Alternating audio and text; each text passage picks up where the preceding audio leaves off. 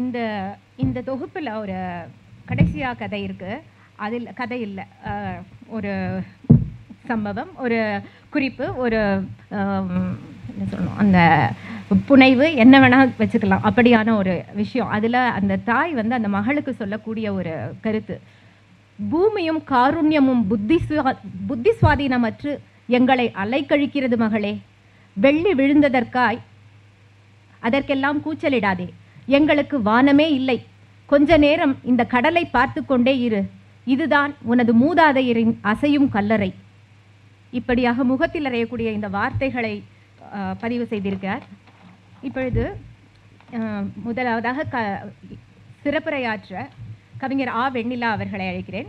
அவரை பற்றிய அறிமுகம் அப்படின்னா ஏழு புத்தகங்களை வெளியிட்டிருப்பவர் ஏழு நூல்கள் நூல்களுக்கான ஆசிரியர் நல்லாசிரியர் விருதை பெற்ற ஒரு நல்ல ஆசிரியர்.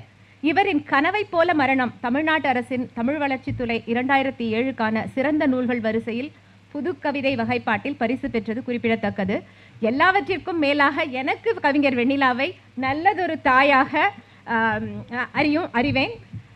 அவ்வாறான கவிஞர் வெண்ணிலாவின் அவர்களை சிறைப்புரையாற்றுவார் என்னுடைய மனதுக்கு நெருக்கமானவர்கள் இருக்கின்ற இந்த மேடையும் இந்த அகரமுதல்வனின் உலகின் மிக நீண்ட கழிப்பறை குறித்து பேசுவதற்காக இந்த அரங்கின் அமைதியும் எல்லாம் சேர்ந்து ஏதோ ஒரு விதமான மனநிலையோடு உங்கள் முன்னால் நிற்கிறேன்.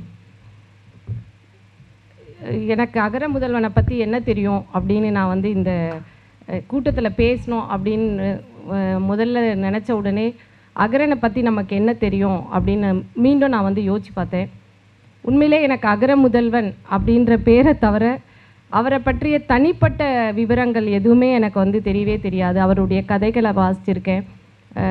புத்தக கண்காட்சியில் குறுக்கோ எடுக்குமா ரொம்ப வேக வேகமாக கைகளை வீசி நடந்து போகிற அகரனை வந்து ஒவ்வொரு ஆண்டும் நான் வந்து சந்திச்சிருக்கேன்.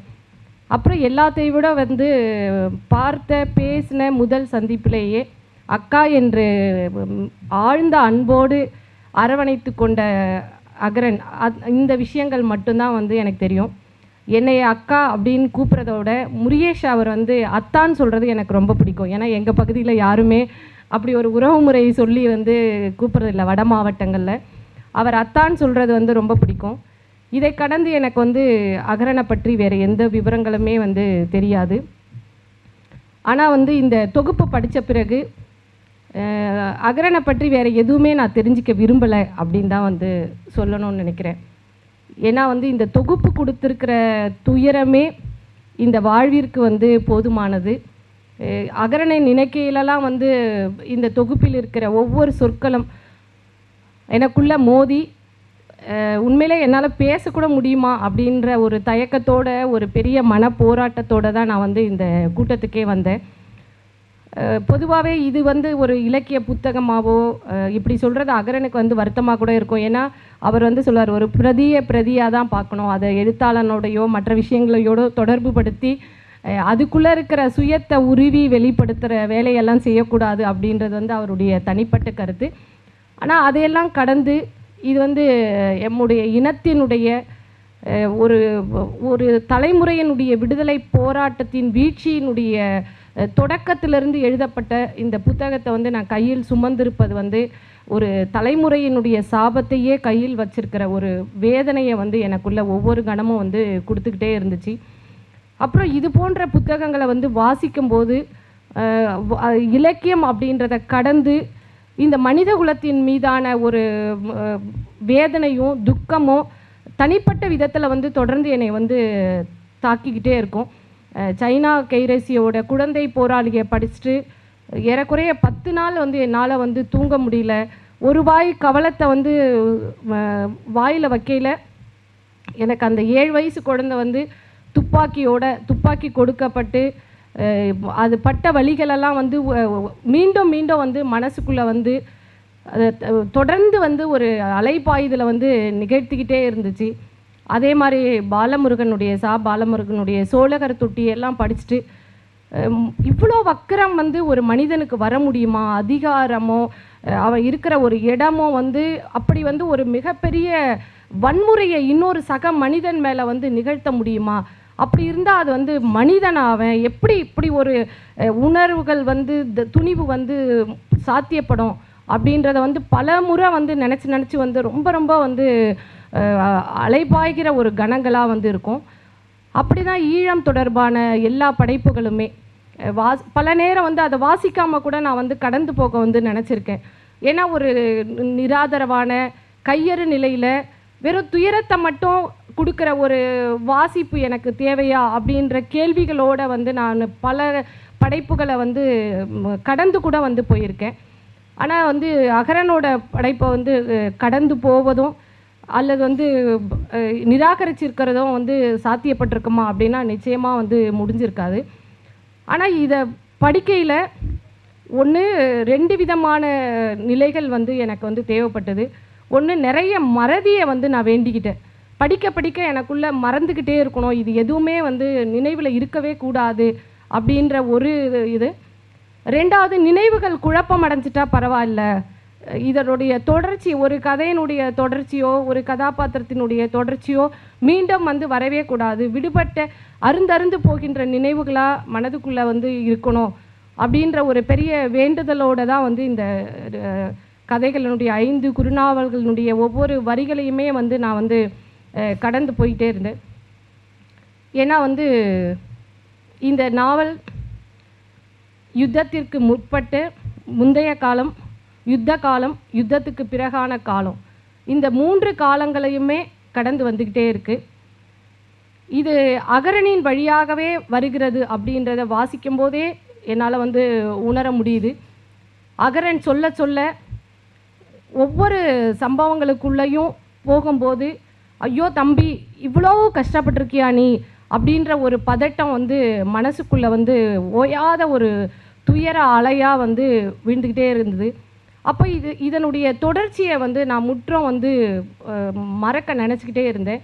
அப்புறம் இதனோடு தொடர்புடைய பல கேள்விகள் அரசியல் சார்ந்து ஒரு கடல் தான் வந்து ஈழத்துக்கும் தமிழக தமிழகத்திற்குமாக இடையில் வந்து ஒரு கடல் தான் இருக்குது அந்த கடல் முழுக்க பிணங்களை வந்து மிதக்க விட்டுட்டு நாம் வந்து அமைதியான ஒரு வாழ்க்கை இந்த பக்கம் ஒரு அமைதியான வாழ்க்கையும் அங்கே வந்து அமைதி அப்படின்றதே இல்லாமல் போன ஒரு வாழ்க்கையும் வாழ்கின்ற ஒரு இனத்தை நாம் எல்லாரும் வந்து ஓரினம் அப்படின்னு வந்து சொல்லிக்கிட்டே இருக்கிறோம். ஒரு பொய்யை வந்து மீண்டும் மீண்டும் வந்து அரங்கேற்றிக்கிட்டே இருக்கோம்.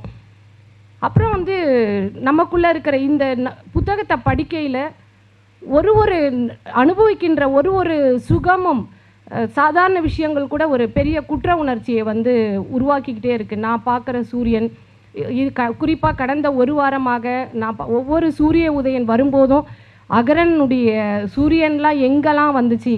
தப்பி ஓடுகின்ற நேரத்தில் வந்து காட்டுக்குள் நடக்கும்போது கண்ணில் படுகின்ற சின்ன நட்சத்திரங்கள் இருந்து இரவு வேலைகள்லேருந்து இது எல்லாமே நான் கடக்கும்போது இலங்கையில் ஈழத்தில் என்ன விதமான உணர்வுகளோட மனிதர்கள் அந்த இயற்கையோட வந்து போராட்டத்தை நடத்திக்கிட்டே இருக்காங்க. ஒரு பக்கம் இராணுவம் ஒரு பக்கம் இயக்கம் ஒரு பக்கம் சிங்கள அரசு. இது எல்லா இது எல்லாவற்றோடு சேர்ந்து ஒரு இனமே வந்து எவ்வளோ போராட்டத்தை வந்து நடத்திக்கிட்டே இருந்திருக்கு அப்படின்றத வந்து இந்த புத்தகத்தினுடைய ஒவ்வொரு வரிகளுமே வந்து சொல்லி கொண்டிருக்கினேன் அப்புறம் இதில் முக்கியமாக பார்க்க வேண்டியதாக நான் வந்து பார்க்குறது வந்து எல்லா அறங்களுமே தொலைந்து போன முற்றாக ஒழிக்கப்பட்ட ஒரு அரசாங்கத்தினுடைய ஒரு அரசாங்கம் என்று சொல்வதா என்பதை வந்து எல்லாரும் வந்து யோசிக்கலாம். அரசாங்கத்தினுடைய நிராதரவான எத்தனை வார்த்தைகள் வேணால் சொல்லலாம். ஏன்னா நம்ம போர் வந்து எல்லா காலத்துலேயுமே நடந்துக்கிட்டு தான் இருந்திருக்கு. போர் இல்லாத காலங்கள் மனித குலத்தில் வந்து இருந்ததா அப்படின்னு வந்து எனக்கு தெரியல. ஆனால் போர் வந்து ஒரு நியதியோடு நடந்திருக்கு. போருக்கான காரணங்கள் வேணால் அற்பத்தனமான காரணங்களாக இருந்திருக்கலாம் நியாயமான காரணங்களாக இருந்திருக்கலாம். அப்புறமா பல்வேறு காரணங்கள் இருந்திருக்கலாம். ஆனால் போர் நடந்த விதம் வந்து நியாயத்தோட போருக்கான கட்டுப்பாடுகளோட வரையறுக்கப்பட்ட நியதிகளோட தான் வந்து போர் நடந்திருக்கு. போர் நடக்க வேண்டும் என்றால் நிச்சயமாக ஒரு நீர்நிலையை ஒட்டிய இடம்தான் வந்து போர்க்களமாக இருக்க வேண்டும். தன்னை விட வலிமை குறைவானவனை வந்து போருக்கு வந்து அழைக்கக்கூடாது தலைமுடி கலைந்திருந்தால் கூட அந்த வீரனோட போரிடக்கூடாது. இதெல்லாம் வந்து நம்மளுடைய பாடல்களில் வந்து இருந்துக்கிட்டே இருக்குது இதிகாசத்தில் வந்து இருக்குது ஆடை நெகிழ்ந்திருக்கிற ஒருவனிடம் போர் செய்யக்கூடாது. இப்படி போர் குறித்து எத்தனையோ நியதிகளை வந்து நம்ம வந்து பார்க்குறோம். ஆனால் ஈழத்தில் நடந்திருக்கின்ற இந்த போர் எந்த நியதிகளுக்குமே உட்படாதது. நீங்கள் வந்து ஒவ்வொரு வீட்லேயும் நம்ம வீடுகளில் கருவாட்டு பானையை தொங்க விடுற மாதிரி ஈழத்தில் சயனட் குப்பியை வந்து வ- சாமி படத்துக்கு அருகில் வந்து தொங்க விட்டுருக்கிற காட்சிகளை வந்து பார்க்கும்போது உடன் இருக்கின்ற இ- அதுக்குள்ளே இருக்கிற ஒவ்வொரு வழியுமே வந்து மனித குலத்துக்கு எதிராக ஒரு போர் அப்படின்றத கூட வந்து வரையறுக்க முடியுமா அப்படின்றத வந்து தெரியல. ஏன்னா அங்கே நடத்தப்படுகின்ற ஒரு இன அழிப்பு என்பது ஒரு கொக்கரிப்பினுடைய ஒரு மதத்தினுடைய துணையோடு ஒரு அரசோட துணையோடு எப்படியெல்லாம் நடந்திருக்கு? இப்படி எப்படி ஒரு மனிதர்களால் வந்து செயல்பட முடியும் அப்படின்றதே தெரியல. ஒரு முள் கம்பி அந்த காட்சி ஒரு இடத்துல வரும். இராணுவ வந்து அழைச்சிட்டு போயிடும். சந்தேகத்துக்கு சந்தேகப்பட்டு அப்படி கைதிகளும் விடுவிப்புகளும் வந்து தொடர்ந்து அங்கே வந்து எல்லா இடங்கள்லையுமே வந்து இருந்துக்கிட்டே இருக்கும். எல்லா விளக்குகள் எல்லாமே அணைக்கப்பட்டிருக்கும். திடீர்னு ஒரு ஒழுங்குக்கு கட்டுப்பட்ட ஒரு முள் கம்பி எல்லார் மேலேயும் வந்து அப்படியே பாஞ்சி பாஞ்சி வந்து வெளியே வரும். ஒரு முள் கம்பி மனித உடலில் வந்து அப்படியே சுழண்டு சுழண்டு அடித்தா எப்படி இருக்கும்? அந்த கம்பி முழுக்க மாமிச துணுக்குகளும் அரை முழுக்க ரத்த திவலைகளமாக தான் வந்து இருக்கும். ஐயோன்னு வந்து ஒவ்வொருத்தருடைய அலறி அது அலறதுக்கெல்லாம் வாய்ப்பு இருக்குமான்னு எனக்கு தெரியல. அந்த சத்தம் கூட வருமான்னு தெரியல. அப்படி உ- மரணத்தினுடைய தருவாய்க்கே போய் போய் மீண்டு வரும்போது விளக்குகள் போடும்போது தன் தான் உயிர் பிழைத்திருப்பதே எவ்வளவோ தேவலான் தன் தலைக்கு மேலே தொங்கிக் கொண்டிருக்கிற குறிகள் சிதைக்கப்பட்டு முளைகள் அறுக்கப்பட்ட பெண் உடல்களை பார்க்கும்போது இது என்ன மனிதர்கள் இது என்ன மனித குலம் இது என்ன வாழ்க்கை என்று இந்த மனித குலத்தின் மேலே காரி துப்ப தோன்றுகிறது.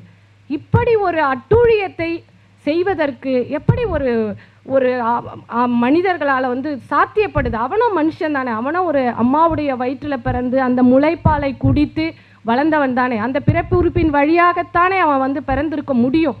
அது எப்படி இவ்வளோ பெரிய ஒரு வக்கரம் விலங்கு குணம்? இந்த விலங்கு குணத்துக்கு விலங்கு குணம்னு கூட சொல்ல முடியாது. எந்த விலங்கும் இவ்வளோ வக்கரத்தோடு இன்னொரு விலங்கை வந்து தாக்கிறதா வ- வரலாறே கிடையாது. ஆனால் இது எல்லாமே நம் கண்ணெதிர வந்து சாத்தியப்பட்டுக்கிட்டே இருக்குது நாம் ஒரு மௌன இந்த மாதிரி புத்தகங்களை படிச்சுட்டு உணர்வுகள் பொங்கி எழுகின்ற ஒரு கையாலாகாத ஆட்களாகவே வந்து இருந்துக்கிட்டே இருக்கும். ஈழத்துக்கும் நமக்குமான உறவு. நான் வந்து இங்கே வரையில தான் வந்து யோசிச்சு பார்த்தேன். எல்லா தென்கிழக்கு ஆசிய நாடுகள் எல்லா நாடுகள்லையும் இருக்கிற தமிழர்களுக்கு அவர்களுடைய சொந்த ஊர் என்று இன்றைக்கும் தமிழகத்தில் ஏதோ ஒரு ஊரை வந்து பூர்வீகம் என்று சுட்டிக்காட்டக்கூடிய ஒரு ஓர் ஒரு ஊர் வந்து இருக்கிறது. ஆனால் இலங்கையில் இருக்கிறவர்களுக்கு அப்படி சுட்டிக்காட்டக்கூடிய ஊர் வந்து தமிழகத்தில் வந்து எனக்கு தெரிஞ்ச அளவுக்கு இல்லை அப்படின்னு நான் நினைக்கிறேன். இதை சொல்கிறதன் மூலமாக எதை வந்து நான் வெளிப்படுத்த விரும்புகிறேன் அப்படின்னா தமிழகமும் ஈழமும் இலங்கையும் வேறு வேறு இல்லை. இடையில் வந்து ஒரு கடல் வந்து இன்றைக்கு வந்து ஏதோ ஒரு நூற்றாண்டுகளில் வந்து உருவாகி இருக்கலாம் அல்லது இது ஒரே நிலப்பரப்பாகத்தான் வந்து இருந்திருக்க முடியும். ஒரே மக்கள் எல்லாரும் ஒன்றுக்குள்ளே ஒன்றா தான் வந்து வாழ்ந்திருப்போம். அவர்களுடைய சொந்த ஊர் அப்படின்றது நமக்கு எப்படி நம்மளுடைய பூர்வீகமோ அப்படி தான் வந்து அங்கே வந்து இலங்கையிலையும் வந்து இருந்திருக்க முடியும். சோழர்கள் வந்து ஆட்சி செய்ததுலேருந்து அவர்கள் இலங்கை அப்படின்றதே வந்து சோழ அரசர்களினுடைய ஒரு எப்படி வந்து இங்கே வந்து ஒவ்வொரு மண்டலமாக பிரிக்கப்பட்டிருந்ததோ அப்படி தான் வந்து சோழ மண்டல சோழர்களினுடைய ஒரு இன்னொரு மண்டலமாக தான் வந்து ஈழம் வந்து இருந்திருக்கு. அப்படி இதையெல்லாம் வந்து பார்க்கும்போது நம்முடைய ஒரு நம்ம நமக்குள் ஒரு ஒருத்தர்களாக இருக்கின்றவர்களுடைய துயரம் என்னை வந்து இன்னும் அலக்கழிச்சுக்கிட்டே இருக்குது ராஜேந்திர சார் சொன்ன மாதிரி வந்து எனக்கு வந்து இதை படிக்கையிலலாம் வந்து அகரன் வந்து இது கடந்து வந்ததோட மீண்டும் இதை எழுதும்போது எப்படியெல்லாம் துடிச்சிருப்பார் என்னெல்லாம் செஞ்சிருப்பார் அப்படின்றதான்.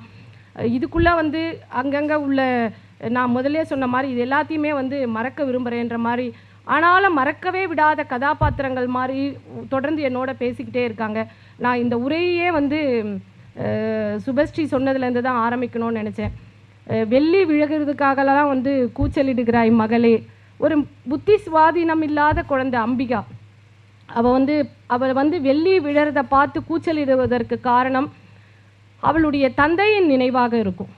ஏன்னா அவள் வயிற்றுக்குள் எட்டு மாத குழந்தையாக இருக்கும்போது அவளுடைய தந்தையை வந்து சுட்டு கொள்கிறார்கள் அந்த கு த கணவனனுடைய இழப்பை பொறுத்து கொள்ள முடியாத கிரேசி வீட்டுக்குள் சென்று வீட்டுக்குள் அந்த அறைக்குள் சென்று அந்த சயனைட் குப்பியை திறந்து அந்த விஷத்தை வந்து குடிக்கிறாள் அந்த விஷம்தான் நன்றாக பிறக்க வேண்டிய அந்த குழந்தையை புத்தி சுவாதீனம் இல்லாத ஒரு குழந்தையாக வந்து மாற்றுகிறது. அப்போ அது நான்கு மாதம் வரைக்கும் நல்லா இருந்த குழந்தை பிறந் நான்கு மாதத்துக்கு பிறகு மூளை காய்ச்சல் வந்து அதனுடைய மூளை வளர்ச்சியே வந்து மாறுது. ஆனாலும் அந்த குழந்தைக்குள்ள ஒவ்வொரு முறை வெள்ளி வானத்திலிருந்து வெள்ளி விழுவதை பார்க்கும்போது அதுக்குள்ளே ஏதோ ஒரு உணர்வு இருக்குது. தன்னுடைய தந்தை குறித்தோ ஏதோ ஒரு உணர்ச்சி இருக்கிற அதை பார்க்கம்லாம் வந்து ஒரு இழப்பினுடைய அறிகுறியாக அது வந்து அது கூச்சலிட்டுக்கிட்டே இருக்குது ஆனால் அந்த இடத்துல வர்ற வரி அந்த குழந்தையின் இழப்பை விட வெள்ளி விழுவதற்கெல்லாம் நீ கவலைப்பட கூச்சலிடாதே மகளே. எங்களுக்கு வானமே இல்லை.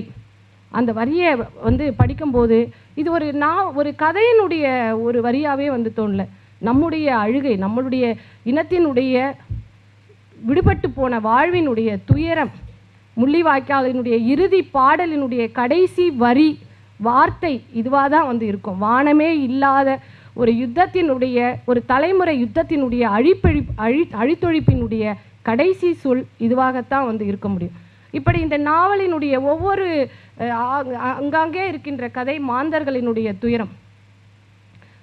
திரு மாரா சார் சொன்ன மாதிரி வந்து கதை முதல் கதையிலேயே அவனுடைய அவன் வந்து புலிகளின் கையாளாக இருப்பானோ என்ற சந்தேகத்தில் வந்து கைது செய்யப்படுறான். இயக்கத்தில் இருக்கிறான். எவ்வளவோ அதுக்குள்ளே வந்து நினைவுகளுக்குள்ளே வந்து பயணம் பண்ணிக்கிட்டே இருக்கான். மிகப்பெரிய வன்முறைகள் முகத்தில் அப்படியே பலகையால் வச்சு அடிக்கிறது. இதெல்லாம் நினைக்கையில் நமக்கு வந்து ஒரு த்ரீ டி எஃபெக்டோட முகத்தில் பலமுறை நான் வந்து இப்படி முகத்தை வந்து பொத்தி இருக்கேன். நேராக ஒரு பலகை வந்து நம்ம முகத்தில் ஓங்கி அடித்தா எப்படி வந்து மூக்கு உடைப்பட்டு ரத்தம் செதறுமோ அப்படின்ற ஒரு பயத்தோடு வந்து நான் வந்து திரும்பி திரும்பி வந்து பார்த்துருக்கேன். அப்படியெல்லாம் வந்து தன்னுடைய வாழ்வின் பிழைக்கவே முடியாது. பல இடங்களில் வந்து மரணம் அந்த வார்த்தையை அவர் வந்து சொல்லியிருப்பார். கொத்து கொத்தாக மரணம் நிகழும் பூ நிலம் இது. அந்த நிலமே அப்படிதான் இருக்குது ஆமக்குளத்தில் போய் வந்து தண்ணி கடியில் வந்து தண்ணியெல்லாம் இறைச்சால மொத்த ஈழத்தமிழர்களுடைய எலும்புகள். எந்த இடம் காட்டுக்குள்ளே போனால் புதை ஒவ்வொரு மனிதர்களையும் வீரர்களையும் புதைத்த இடத்துலேருந்து மரம் வளர்ந்திருப்பது போல் அந்த காடுமே வந்து பிணங்களால் நடப்பட்ட ஒரு காடு போல வந்து இருக்குது அவர்களுடைய இயற்கையினுடைய எல்லா இடமே வந்து மூச்சு திணறலையும் ஐயோ என்னை எங்களை விட்டுற மாட்டிங்களா? அப்படின்ற ஒரு பெரிய கூக்குரலையுமே கொடுக்குற இடமா தான் இருக்குது அப்படிப்பட்ட ஒரு அவல சூழல்லையும் போராளியாக இருக்கிறவன் எப்படி உயிர் பிழைக்கிறான் அப்படின்றதுக்கு அவனுடைய காதலும் காமமும் தான். தன்னுடைய காதலியோடு இருந்த அந்த நினைவுகள் தான். ரொம்ப ரொம்ப ரொம்ப அற்புதமான இடம்.